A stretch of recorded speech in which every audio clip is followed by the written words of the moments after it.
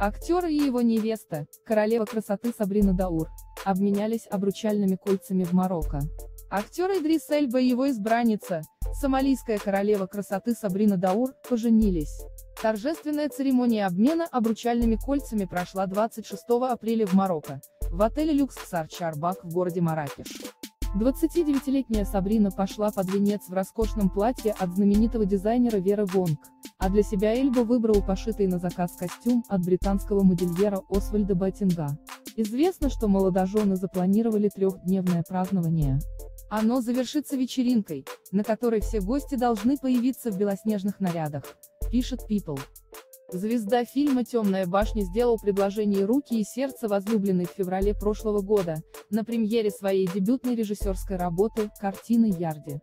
45-летний артист вышел на сцену и, преклонив колено, преподнес модели кольцо. Конечно, девушка сказала «да».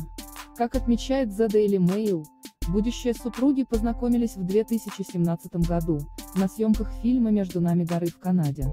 Ранее Эльба был женат дважды, от этих браков у него есть двое детей. Потерпев неудачи в семейной жизни, актер заявлял, что больше никогда не женится.